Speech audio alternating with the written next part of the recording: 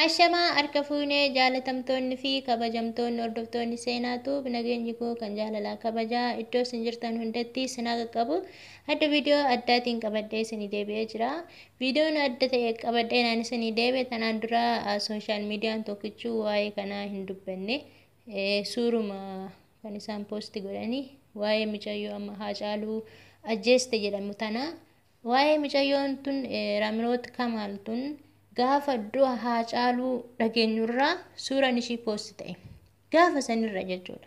Gaafa sanirraa feesbuuk ishii keessas namni seentanii argitan argitan ta'a. Wanni ishiin barreessaa turte Haacaaluu irratti wanni ishiin barreessaa turte jira afaan Amaariffaatiin barreessite irratti barreessaa turte. Akkasuma immoo kan ishiis ajjeese kan ishiis makiinaa wajjin keessa jiru ishiidha taa'amee suuraan ishii guyyuma san ol ba'e jechuudha. Garuu guyyaa san olaa bahu malee namni waan mucayyoo tanaa ergasii deebi'ee waan namitti tanaa ergasii deebi'ee namni dubbate hin jiru. Tanaan dura eenyu abbabee jedhamtu suni abbaan alangaa jechuudha. Shakkamtuu teenya tokkoffaa turte laamiroot kamaadh ishee jedhamtu tun shakkamtuu teenya tokkoffaa turtee jettee dubbattee jirtu warri dhageessan dhageessan jechuudha afaan oromootiin.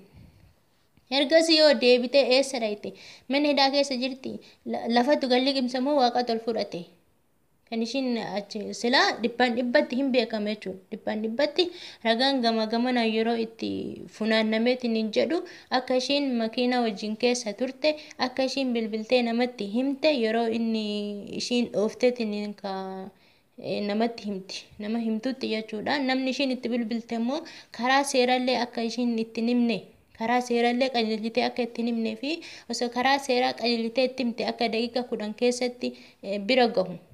Ishiin san hundaan goone karaa seeraan itti himne sila ho'atti kan qaqqabatan jechuudha.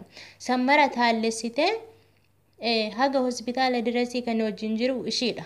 Garuu gaafiidhaaf erga fudhatanitti gaafii gara deebii gara garaa himaa turte haa ta'u malee shakkamtuun ishiidha kan ajjeesis ishiidha. Hacaaluu kan ajjeese ishiidha. Garuu ammoo dubbii mucayyoo tanaa namitti tanaa maaliif lafatti gannee ishiin eessa jirti? Itoophiyaa keessatti immoo biyya alaa jirti. Warri hiriira bahan jechuudha. Warri hiriira baatan isin caalallee beekatii miti. Hin jirtan jechuudha warri bebbeekan warri artistoonni akkasumas iyyuu gaazixeessonni hin jiranii namoota guguddaatu jira jechuudha. Guyyuma Haacaaluu du'e sanirraa erga suura mucayyoo tanaa ol bahee maaliif onni qabatanii deemtanii suurota hayyoota keenya kan hidhame firii Jowaar Mohaammed, firii Baqqalaa Garbaa, firii Oromoo Piipil Oromoo Piipil ka jedhu kana qabatanii isaan ka sagaleellee dabarsan jechuudha. Akkasuma Justice for Haacaaluu Hundeessaa hin jedhamu jechuudha. Suuraan isaas qabatamee deema. Garuu ammoo tuyyuu bakka Justice for Haacaaluu Hundeessaa bakka jedhamu sanitti suuraa mucayyoo tanaa fuutanii maxxansitanii suuraa Haacaaluu fi mucayyoo tanaa fuutanii maxxansitanii mucayyoo tana obboleessa keenya kan ajjeese ishiidha. Goota keenya kan ajjeese ishiidha jettanii addunyaan akka beekumaaf hin goone. Dhuguma amma karaa Itoophiyaatiin karaa seeraatiin karaa seeraatiin dhuguma dubbiin kun ifa nu uummataaf hin baha jettanii hin eeginaan nu gaannisanii jedha. Kunoo torbee sadi finnee jirra ji'atti seenna afuraffaa seenna jechuudha. Torbee afuraffaa jalqabnee jira jechuudha garuu homaa wanni takka eenyutu Haacaaluu ajjeese akkamitti du'e mee amma gadaantii dhugaan isin jedha ani isinirrallee beekatii miti gadaantii miidiyaan Itoophiyaa keessaa tokkichi tokkichi akkamitti deemetiniin maatii Haacaaluu bira dhaqee haadha warraa Haacaaluu bira dhaqee akkamitti intarvii godhuufi dide maaliif kun sababa akkamiitiifi asirratti baay'ee komii guddaa miidiyaa Itoophiyaa keessa jiru komii guddaa irraa qaba uummanni Oromoo nabichaa miti uummanni Oromoo marti komii irraa qaba.